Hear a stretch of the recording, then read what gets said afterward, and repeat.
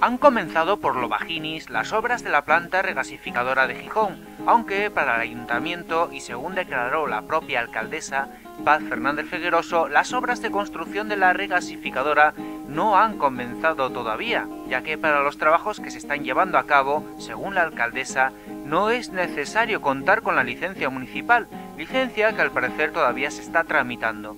Según el ayuntamiento, lo que se está haciendo ahora es un movimiento de tierras bajo cota, o sea, por lo bajinis.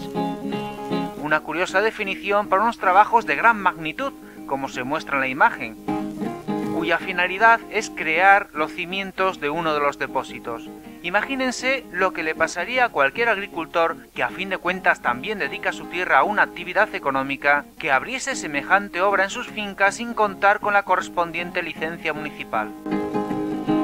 Así las cosas, desde la iniciativa regasificadora NON, que aglutina diversas organizaciones sociales, vecinales y políticas, han solicitado a la Autoridad Portuaria de Gijón que paralice las obras de la planta propiedad de Nagas, por no contar todavía con la licencia municipal obligatoria.